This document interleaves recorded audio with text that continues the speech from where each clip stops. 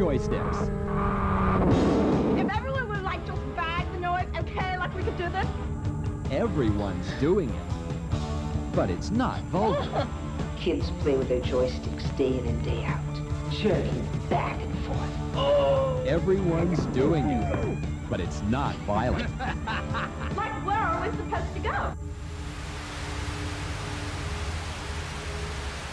There was more to Barney Springboro than his mind. There was more to Peyton Nichols than what met the eye. Smile! And on that day when Barney got the power, it was Peyton who knew exactly what to do with it. I can make things fly around. I can move things.